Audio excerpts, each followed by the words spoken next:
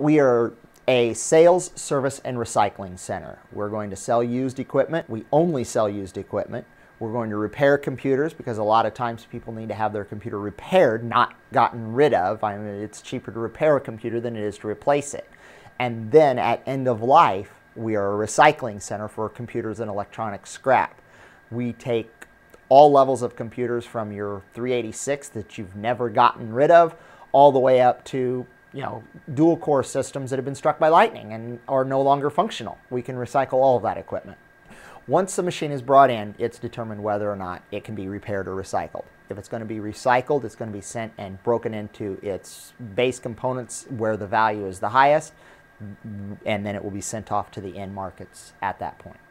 If it cannot load Windows XP, there's absolutely no purpose in working on it.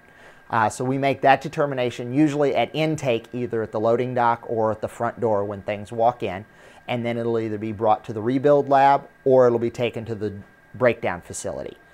Once it's there, it moves through a process. Rebuild lab is going to verify does it work? If it doesn't work, what does it need to work? Can we take the components out of five or six machines to get one going? We have to do that a lot of times, especially with laptops, even with desktops. You know, we have 50 of them that come in from a business, well, we may be able to get 15 of those working, but that's still 15 machines that can be reused.